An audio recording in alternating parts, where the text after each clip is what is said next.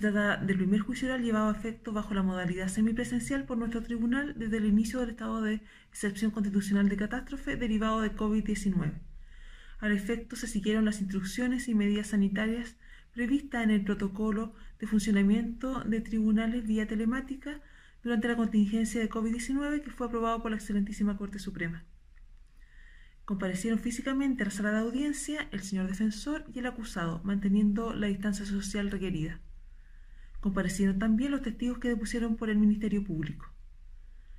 Presenciaron la audiencia y participaron en ella vía remota, utilizando para el efecto la plataforma Zoom, los tres jueces que compusimos la sala y el señor fiscal.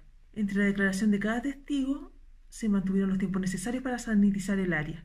Este juicio oral se pudo llevar a efecto gracias a las coordinaciones previas que se desarrollaron con los intervinientes. Asimismo, se trata de un caso en que los testigos que debían declarar y el propio acusado tienen su domicilio en la comuna de Cauquenes. Por lo tanto, no fue necesario traslado desde otros puntos del país.